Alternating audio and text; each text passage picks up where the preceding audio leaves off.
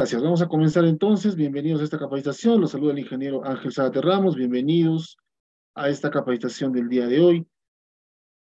Les decía, eh, sobre todo, y no solo en el sector minero, en todos los sectores se utilizan pues maquinaria pesada, se opera maquinaria pesada. Es por eso que es importante la aplicación de la seguridad en la operación de estos equipos, ¿correcto? Es muy importante mencionarlo porque porque los operadores, no solo para los operadores, también vamos a aplicar seguridad para los trabajadores que tienen contacto, por lo menos contacto visual con, esta, con este equipo y con el operador. Hay una diapositiva específica que vamos a mencionar, eh, los puntos ciegos ¿no? de, los diferentes, de las diferentes maquinarias pesadas. Bien, sobre el curso, rápidamente, en el, en el presente curso mencionaremos eh, de qué manera aplicar la seguridad y salud en el trabajo en la operación de maquinaria pesada, tanto en la inspección, como ya mencioné, del equipo, como la operación propiamente dicha. Inspeccionar el equipo, operar el equipo, como trabajadores teniendo, tener contacto, ¿no es cierto?, con, esta, con este equipo pesado, con esta maquinaria pesada. Es muy importante. El temario que vamos a ver rápidamente el día de hoy, seguridad en la inspección de la maquinaria pesada, seguridad en la operación de maquinaria pesada, específicamente para los operadores, qué medidas de seguridad vamos a aplicar, puntos ciegos, hay una diapositiva nada más, un gráfico, un par de gráficos, ¿no es cierto?, que se parecen mucho, peligros y riesgos en la operación de maquinaria pesada, lo vamos a ver en la última parte, recomendaciones generales en materia de seguridad. En algunos puntos, mis amigos, vamos a repetir en tal caso, ¿no es cierto? De repente alguna recomendación, pero es muy importante porque porque al aplicar adecuadamente la seguridad en la operación y en la inspección de esta maquinaria pesada, vamos a evitar, pues, sin duda, la ocurrencia de accidentes. Es muy importante, les decía, porque, porque ocurren los accidentes, mis amigos, ocurren, ¿no? En minería, en construcción, donde se utilizan muchas veces estos equipos, ocurren accidentes relacionados a la operación, relacionados al operador en tal caso, relacionados a los peatones. Tengan en cuenta.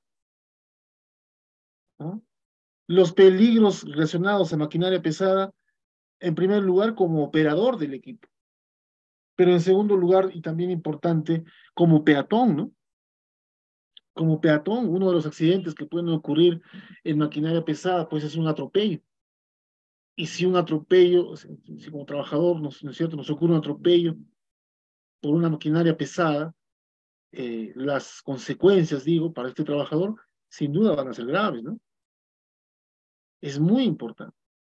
Una cosa más, mis amigos, ya hablando del tema operativo, eh, se espera mucho, se, se, aplica, digamos, mucho la experiencia de los operadores, ¿no? ¿no? la experiencia, la pericia para operar los equipos. Vamos a hablar el día de hoy en materia de seguridad, por supuesto que sí. Pero ya en la operación se requiere mucho, repito, de la experiencia, de la pericia del operador, del operador del equipo. ¿Correcto? Entonces, hablamos de un tema operativo, hablamos de un tema de seguridad, hablamos de un tema de seguridad en operación, hablamos de un tema de seguridad en inspección, vamos a ver, ¿no? Motores, neumáticos, etcétera. Vamos a ver el día de hoy. ¿correcto? Es muy importante el tema que vamos a ver el día de hoy, mis amigos, les decía, es muy importante porque eh, va a reflejar de qué manera, no solo, repito, como operador, sino como peatón, como trabajador, ¿no es cierto? Vamos a evitar la ocurrencia de accidentes. Pero vamos a ver a qué se le llama, pues, maquinaria pesada, ¿no?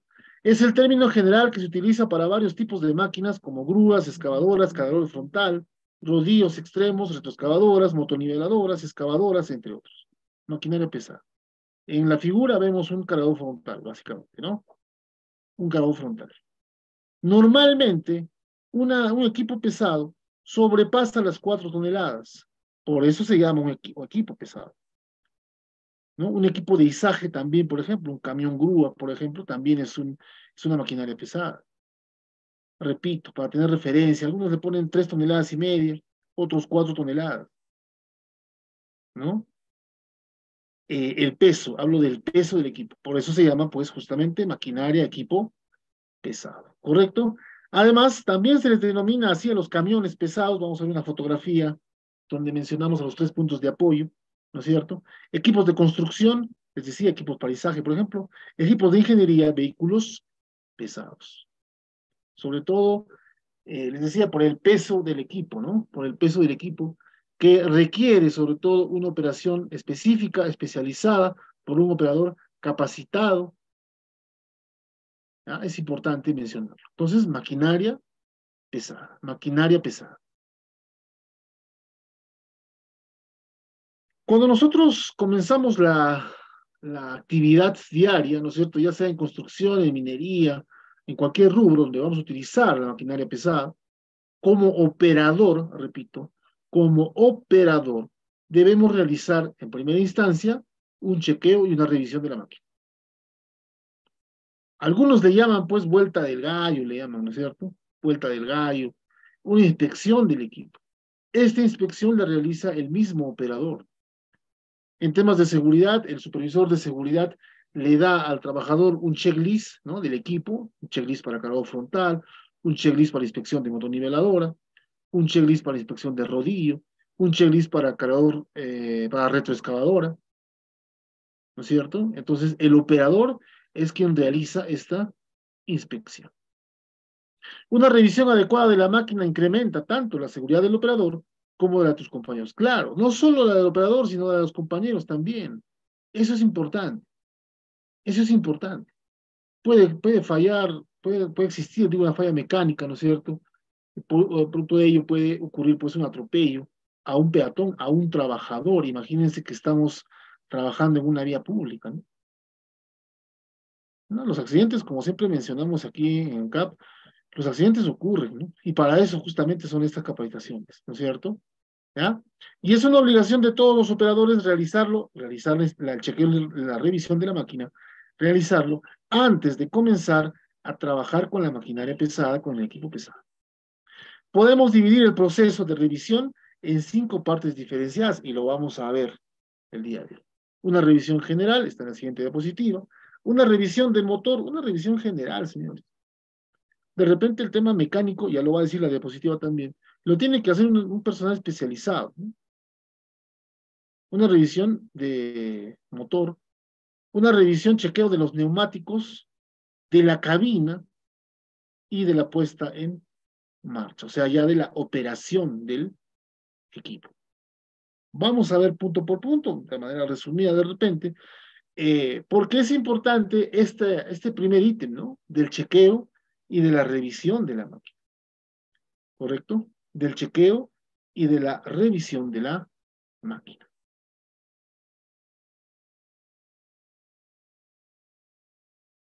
A ver, chequeo, inspección general, ¿no es cierto? Inspección eh, general. Vamos a ver, dice, si la máquina está trabajando a, turnos, y eso es lo que siempre sucede, ¿no? Eso es lo que siempre sucede. Un equipo pesado, mis amigos, una maquinaria pesada, trabaja 24 horas. En algunos casos no, de repente, pero normalmente, digo, trabaja 24 horas. Obviamente con dos operadores, ¿no? Un operador de turno de día, digamos, y un operador de turno de noche. Es muy importante por eso esta revisión, esta inspección, este chequeo. ¿Por qué? Porque a mi compañero de trabajo le debo dar, le debo proporcionar un equipo en buenas condiciones, un equipo pesado. Muy importante, ya lo va a decir también eh, la diapositiva, cuando nosotros detectamos alguna falla, alguna falla, alguna condición insegura, debemos reportarlo inmediatamente al supervisor. Lo va a decir la diapositiva en un momento. Para eso sirve esta revisión, este chequeo, ¿correcto? Revisión general. Dice, si la máquina está trabajando turnos, comprobar las incidencias o avisos que ha dejado el operador saliente, claro. Correcto. ¿Qué recomendación? Oye, mira, ¿sabes qué? Los faros no están funcionando adecuadamente. Mira, los frenos, no sé, se han alargado un poco, freno un poco largo, ¿no? ¿Ya? El neumático trasero del lado derecho está eh, digamos, no, no tiene el aire necesario. ¿Correcto? Son recomendaciones seguramente que el operador saliente le va a hacer al operador entrante, le va a mencionar. ¿No es cierto?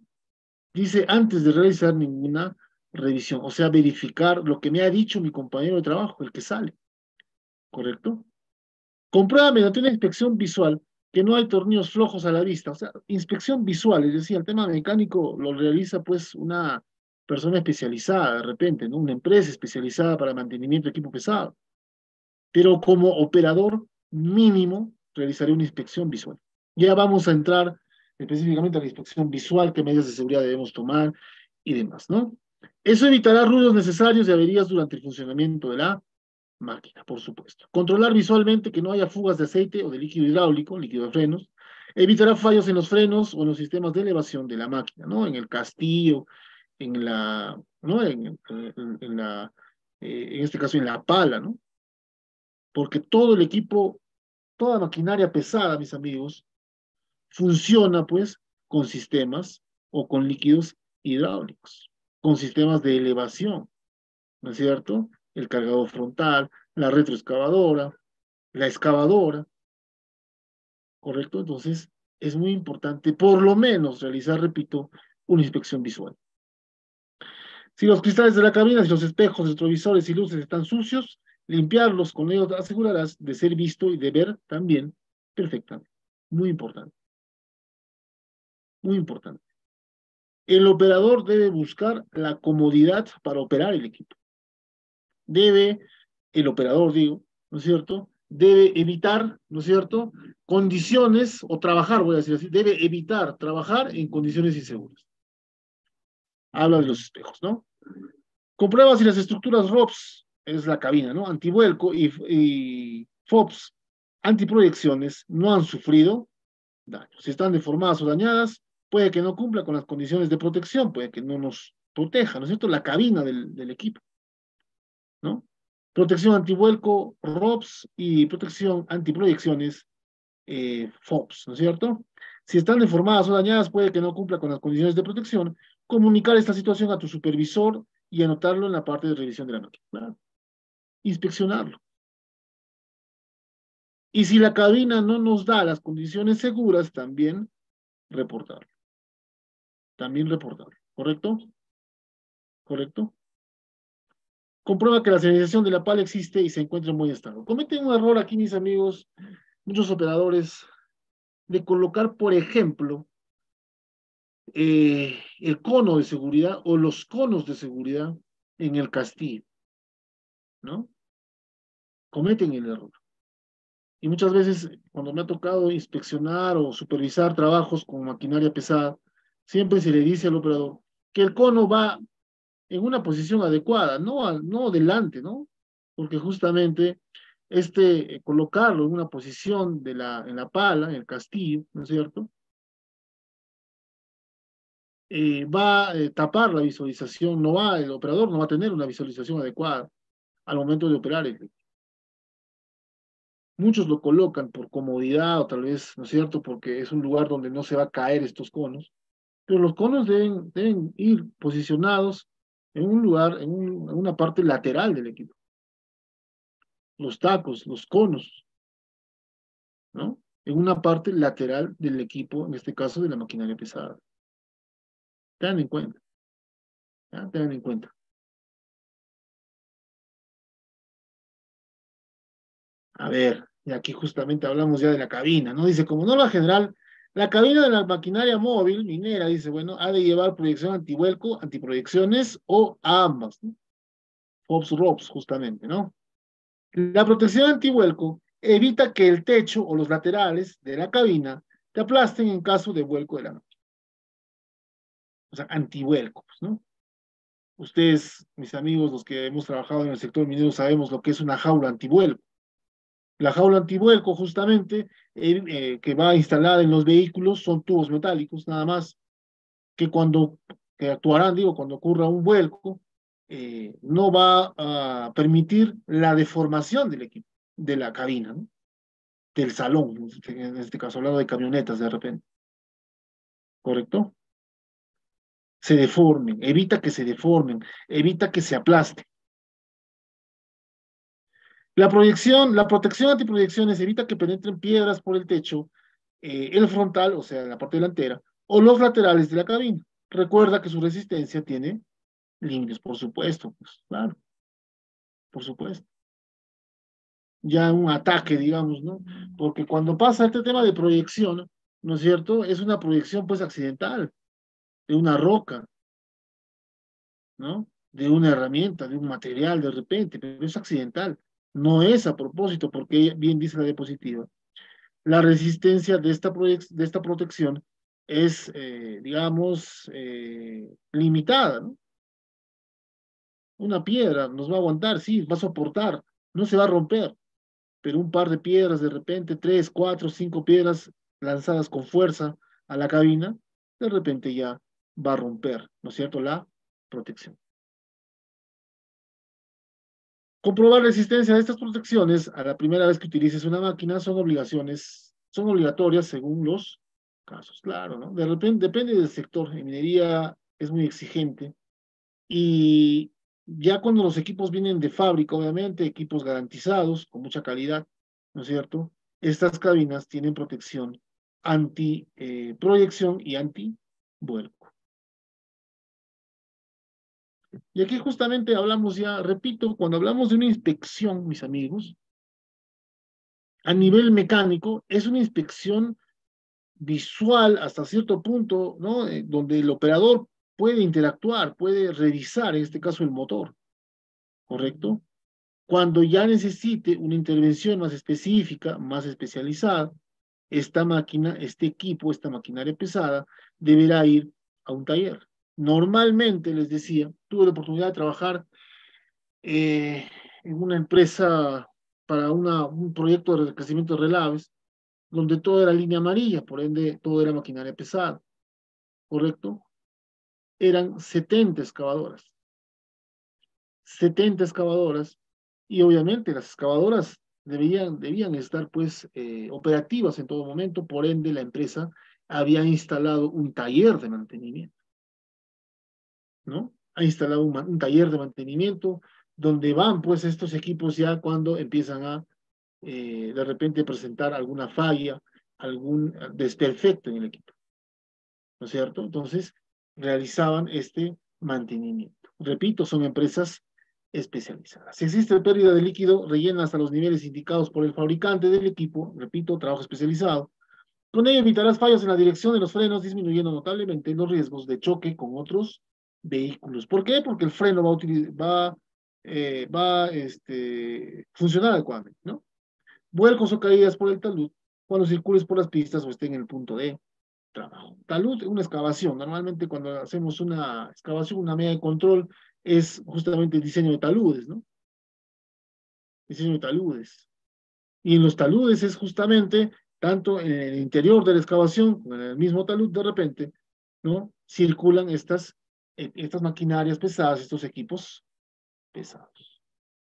Mantén los asideros y los peldaños de acceso, muy importante a la máquina, limpios. Esto evitará resbalones y caídas, ¿no? Asideros, o sea, los, las manijas, ¿no? Manijas, peldaños, ¿no? Muy importante. Ya vamos a hablar de los tres puntos de apoyo, hay una diapositiva también. Vamos a mencionar cómo subir y cómo bajar de manera segura de un equipo pesado.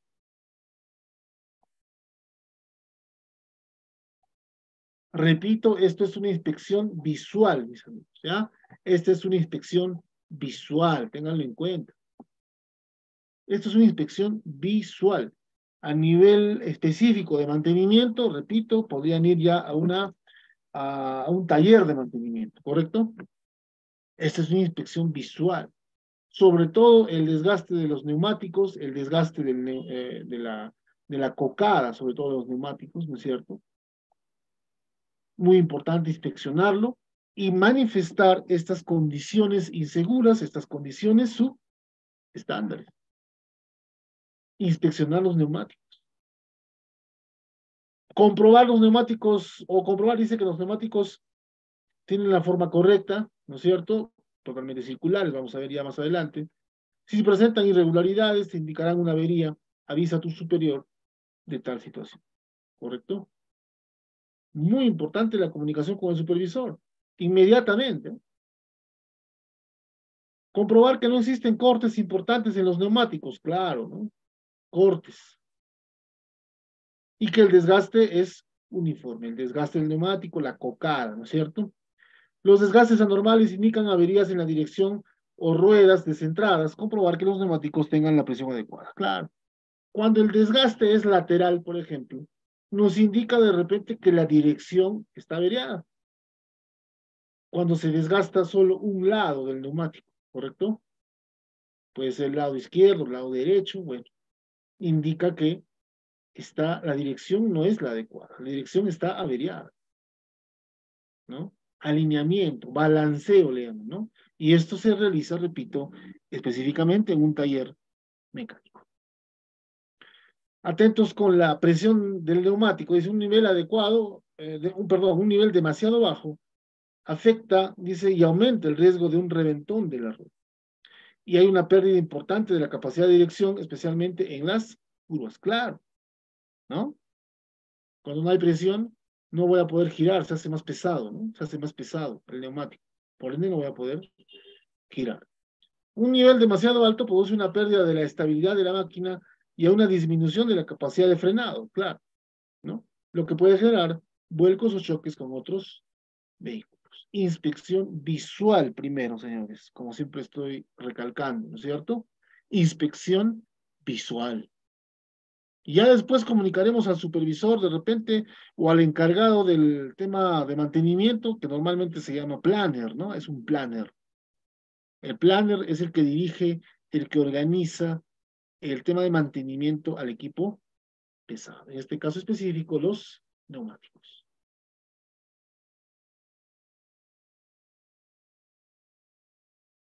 Muy importante, y aquí mencionamos el tema de la cabina, ¿no? Ustedes pueden ver esta figura, una cabina. ¿Ah? Una cabina. Dicho de paso, la cabina está diseñada para un solo operador. ¿Correcto? Han pasado accidentes. Han pasado accidentes. Han pasado accidentes, señores. Está prohibido, ya lo vamos a ver más adelante, está prohibido, por ejemplo, llevar a un trabajador dentro de la cabina o de repente en alguna plataforma, quiere decir en la cuchara del, equipo, por ejemplo, está totalmente prohibido, es una falta grave, ya lo vamos a mencionar, ¿no? Antes de subir a la máquina, da una vuelta alrededor y comprueba si no hay obstáculos o personas en el entorno, ya vamos a ver también puntos ciegos, ya lo vamos a ver. Acceder a la cabina de cara a la máquina, de cara a la máquina, ¿correcto? Utilizando los escalones y asideros, manijas, manijas, eh, gradas, peldaños, que existen para tal fin. Ajustar el asiento a tus condiciones físicas, esto es muy importante, señores. ¿no? Tema ergonómico. El asiento es graduable y el timón, ¿no? En este caso, la. Eh, eh, sí, pues, ¿no? El, timón del vehículo también es, la cabina en sí, es graduable. He tenido la oportunidad de estudiar alguna vez eh, operación de maquinaria pesada con un cargador frontal ¿no es cierto? Y el volante es graduable. El volante es graduable, el asiento de la cabina es graduable. ¿Para qué? Para que el operador busque su comodidad y opere el equipo, ¿no es cierto? Con ergonomía, con seguridad. O lo, lo opere en tal caso con mucha eh, solvencia, ¿no es cierto? De manera segura, pues. Y esto, repito, tiene que ver también con el tema de la seguridad. ¿Por qué? Porque si no graduamos adecuadamente el volante, si no graduamos adecuadamente el asiento, vamos a operar el equipo de repente sin tener una visualización adecuada, sin estar posicionados adecuadamente. Dicho sea de paso, muchos equipos pesados no cuentan con el embrague, ¿no es cierto? No cuentan con el embrague. Simplemente es hacia adelante y hacia atrás. Listo, acelera y frena. Nada más, señores. Nada más. Y el equipo nos va a hacer caso, ¿no? Nos va a hacer caso. Si, aceleramos, el equipo va hacia adelante. Y si frenamos, el equipo va a frenar también. Ah, es una máquina muy importante, muy imponente. Estoy hablando del cabo frontal, básicamente de la retroexcavadora, ¿no es cierto? De la motoniveladora, son equipos pesados y que muchas veces, repito, la operación es muy sencilla, simplemente con algunas manijas, no nada más, o botones, bueno. No es complicado operar un equipo pesado. No es complicado. Pero así como no es complicado, eh, hace justamente que esta facilidad de la operación, ¿no es cierto?, provoque en algún momento un accidente. La recomendación es, como sabemos que el equipo nos va a hacer caso, pues en todo momento, en toda situación, estar muy concentrados. Una vez que yo ingreso a la cabina, debo estar muy concentrado. Debemos estar muy concentrados. ¿Correcto? Es muy importante. Es muy importante.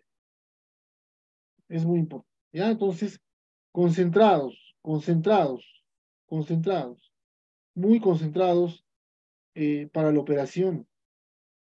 ¿No? Porque les decía, el equipo nos va a hacer caso, ¿no? Nos va a hacer caso. Nos va a obedecer. Y estamos hablando de un equipo pesado. Accede a la cabina de cara a la máquina, ya lo he mencionado, utilizando los escalones y asideros que existen para tal fin, tres puntos de apoyo, acceso, eh, subir y descender en tal caso. Ajuste el asiento a tus condiciones físicas, muy importante, tanto en altura y profundidad como en inclinación del respaldo. Trabajar de la manera más cómoda. Ello permitirá un manejo de la máquina en las condiciones más seguras, seguras a nivel de visión, seguras a nivel de posicionamiento del mismo operador, del trabajador, etc. Regula los espejos retrovisores para garantizar una visión correcta en todos los ángulos. En todos los ángulos, ¿correcto? Entonces, es muy importante, es muy importante, mis amigos. Ah, y aquí hablamos ya de los equipos que debe tener, que debe contar, eh, unos equipos de seguridad con los que debe contar este equipo pesado. Atentos. Comprobar si se cuenta con un extintor en la cabina y a mano. Asegurarse que está en perfecto estado de uso. Comprobar las luces, comprobar las luces y las señalizaciones acústicas de aviso. O sea, retroceso, ¿no es cierto? Eh, señalización intermitente. En, una, en un equipo pesado, mis amigos, debemos tener extintor como mínimo, mínimo de, de, de, de repente de 4 kilos, ¿no es cierto? Un botiquín de primeros auxilios. Debemos tener una linterna, ¿correcto? Y ya como parte del equipo para un correcto estacionamiento, ¿no es cierto? Eh, los conos de seguridad y los tacos también de seguridad. Yo no puedo operar un equipo si no tengo estos elementos de seguridad. ¿Correcto? Ténganlo en cuenta. Mantener limpios los pedales y mandos dentro de la máquina, así como el calzado, se evitarán resbalones y permitirá manejar la máquina con mayor seguridad. Muy importante también, ¿no? Una limpieza previa, correcto. Colocar y ajustar el cinturón de seguridad, esto evitará eh, o disminuirá los daños en caso de vuelco o choque con otros vehículos. Utilizar el cinturón de seguridad, mis amigos, ya es vital, ¿no? Es importante. Es importantísimo. Si yo como operador, si como operador no utilizo, ¿no? Si no utilizo el cinturón de seguridad, bueno, ya no estoy cumpliendo las normas de seguridad utilizar un cinturón de seguridad en una cabina, en una cabina sobre todo de equipo pesado, es muy importante. Es muy importante. Muchos se confían en la protección de la cabina, ¿no? Una protección antivuelco, una protección antiproyecciones. Pero no necesariamente eso nos va a proteger. La cabina es grande. La cabina es grande, es amplia, ¿correcto? Utilicemos en todo momento de la operación del equipo utilicemos el cinturón de seguridad.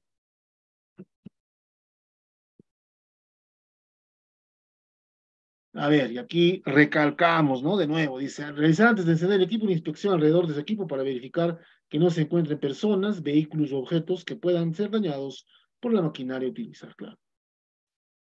El, vehículo es grande, ¿no? Es amplio. Vamos a ver el tema de los puntos ciegos, lo vamos a ver. ¿no? Lo vamos a ver.